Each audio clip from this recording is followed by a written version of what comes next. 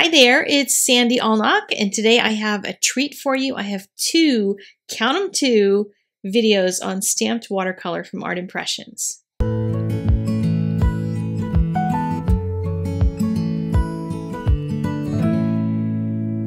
I nearly combined the shops and the cabins from this new release into one video and it got too long, so I'm splitting it in two, and this one is the two cabins.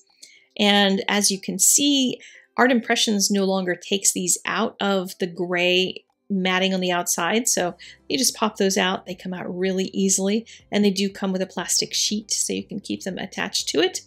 I'm going to be using my set of Tombow markers, which are exclusively available at Ellen Hutson if you'd like to use the colors that I use.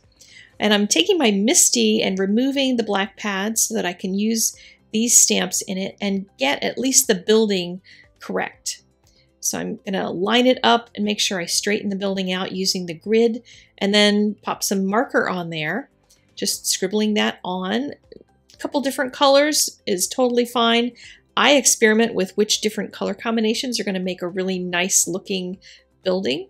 And once you're done, you can see the image is partially there. Not all these images are fully there because you're supposed to put flowers into them.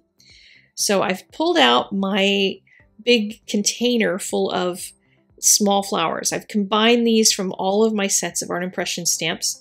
I like to keep all the small ones together so if I'm looking for something specific of a size, I can find it. And here I've put them all on some little blocks. Some of these are art impressions blocks and some of these are ones that I got a long, long time ago, many years ago, back in the day when they used to sell dollar stamps. Do you guys remember those? And I saved those, and I'm glad I did because they work great for these little flowers. But Art Impressions also has a little set of five blocks that are on the small side, and those work really great for Art Impressions watercolor.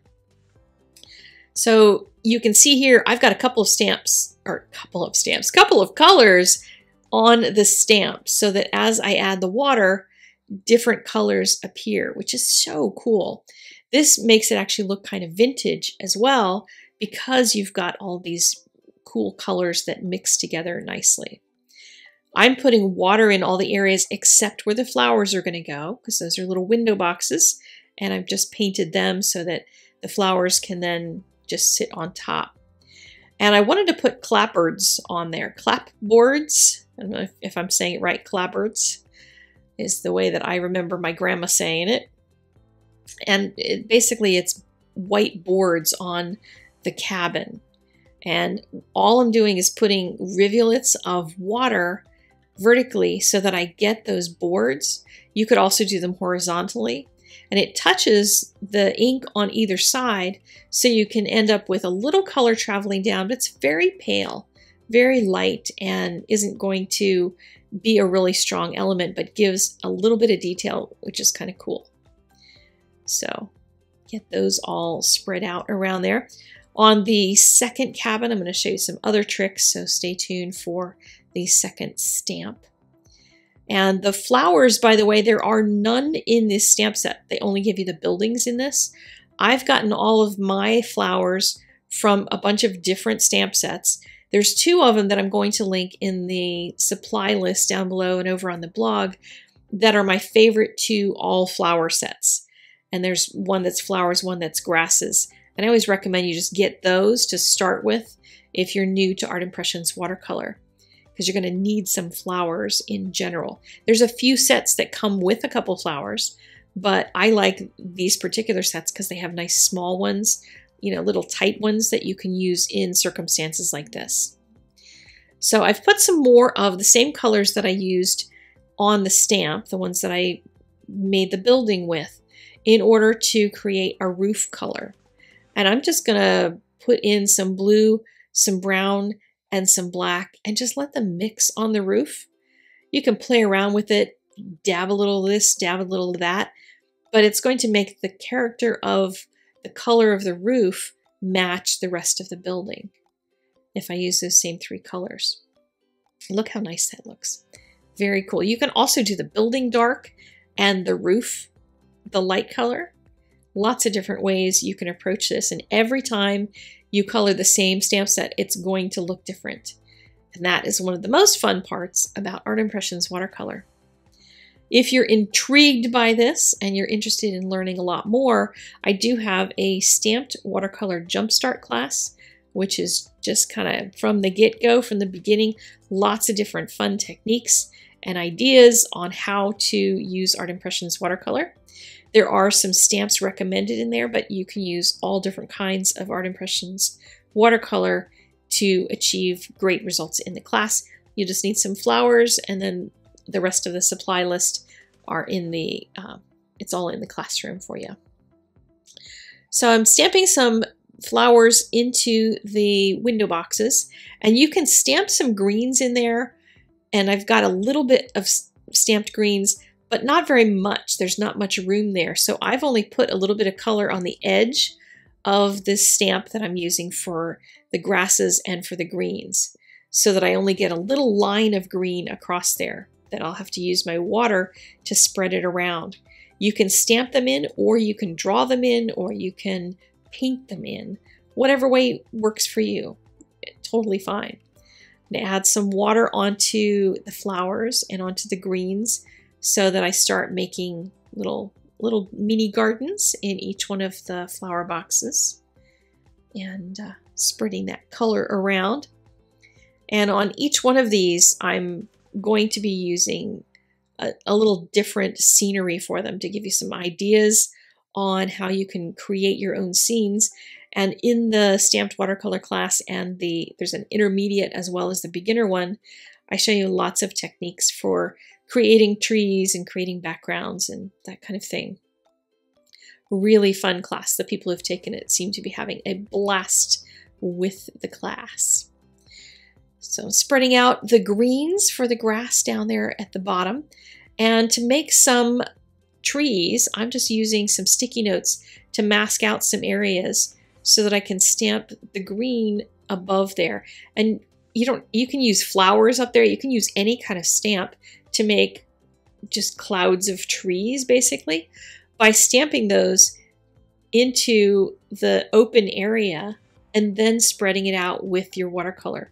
So here I've got one that's sort of a vine looking stamp, but it's going to work as a tree because when I start spreading the color out with the water, it's going to, you'll see, turn into a very nice clump of trees looks a little funky for the moment, but just add water. This sounds like one of those those ads. Remember those uh, sea monsters?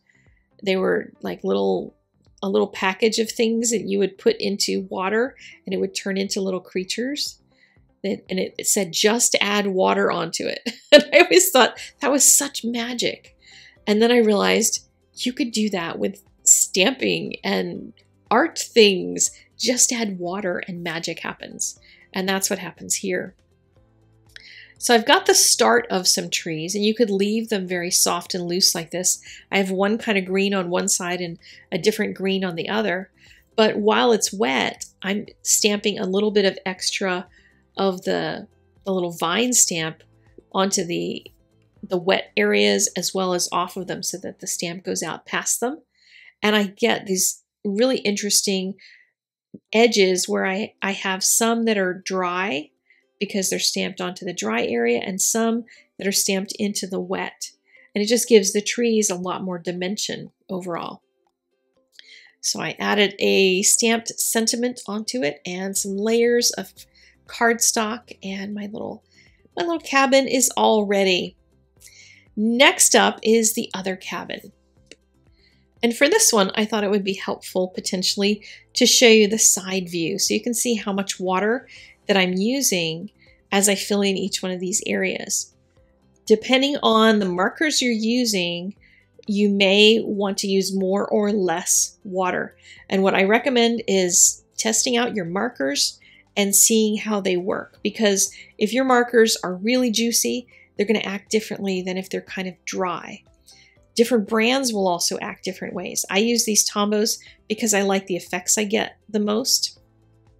But if you have zigs or you have clean color markers or the twin tip or all different kinds, you can use others, just practice with them.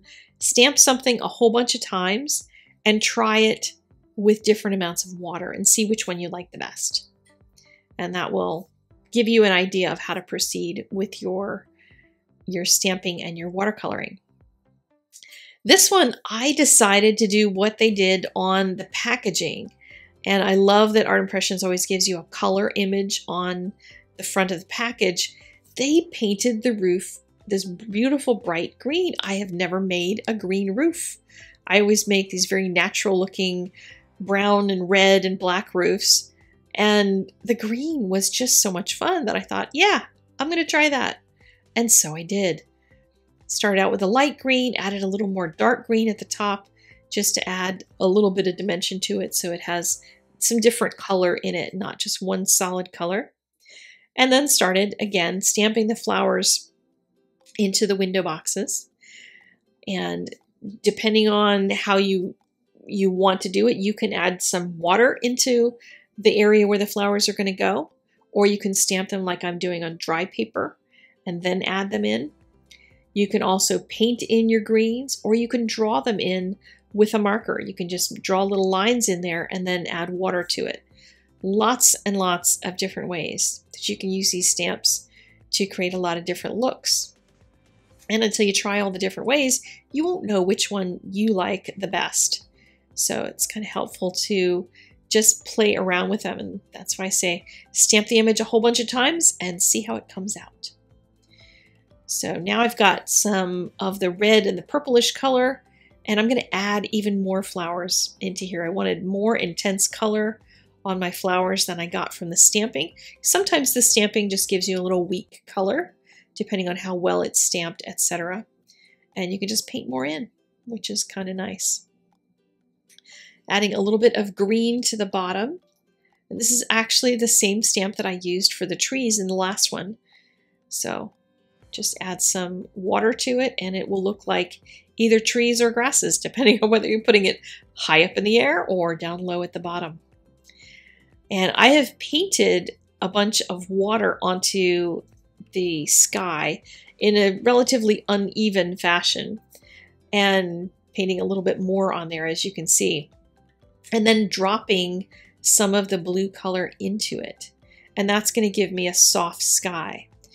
If you just paint the blue in there, you're going to get hard edges. But if you want the soft edges, then paint a bunch of water and drop the color into that, and you're more likely to get a soft look for the edges of your clouds and a little more romantic, soft look to finish this one up, I added a little bit of color into the door and doing my normal uh, overachieving, or I wanted to add in a little more shadow colors in some areas where by the time you add in other colors, things start to look a little weaker. They may have looked really strong when you first started out, but when contrast happens, everything else starts to look lighter. So you may find it'll be helpful to go back in and add a little bit more color here and there to give yourself a little bit more contrast. So there is my sweet little cabin. I hope you enjoyed this. Make sure you check out the other video today too. And all the supplies are linked in the doobly-doo as well as class information if you're interested in taking stamped watercolor classes. And I will see you again very soon with more videos. Take care. Thanks for watching. And thanks for giving me a thumbs up. See you later. Bye.